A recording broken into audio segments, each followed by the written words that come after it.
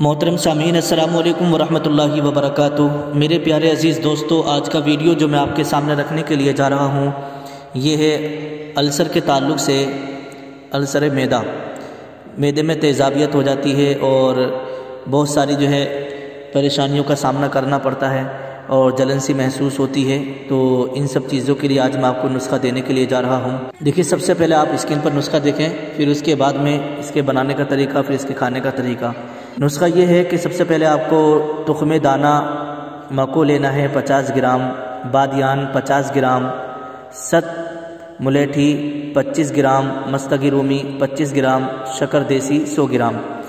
تو یہ نسخہ ہو گیا۔ اس کے بنانے کی ترکیب یہ ہوگی کہ مستگی رومی کو نرم ہاتھوں سے کھرل کریں۔ باقی ادویات کو جو ہے باریک پیس کر مستگی رومی کو اچھی طرح یکجا کر لیں۔ تو یہ آپ کا، آپ کی دوائی تیار ہو گئی۔ اس کے کھانے کا طریقہ یہ ہوگا کہ چھوٹا چائے والا چمچ ایک صبح اور ایک شام تازہ پانی کے ساتھ استعمال کریں۔